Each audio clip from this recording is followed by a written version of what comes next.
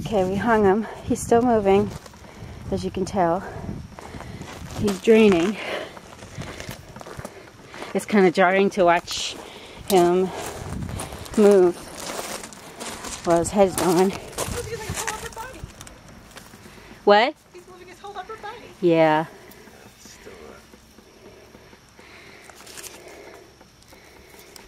Okay, let's go get number two.